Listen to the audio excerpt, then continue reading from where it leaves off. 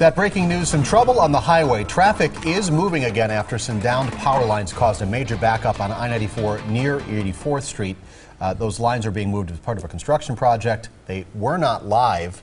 Uh, Michelle Fiore there, live on the scene to give us the latest on what has happened with these power lines. Michelle?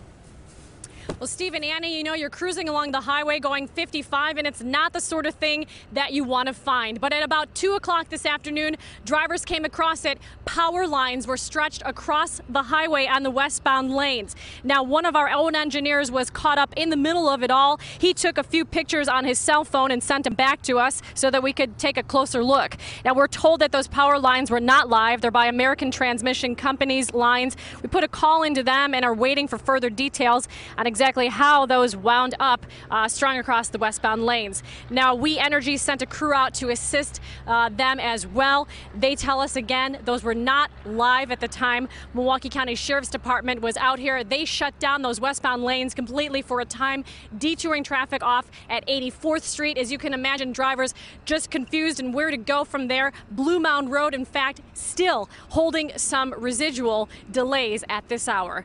Live, Michelle Fiore, today's TMJ4. All right, Michelle, thanks so much.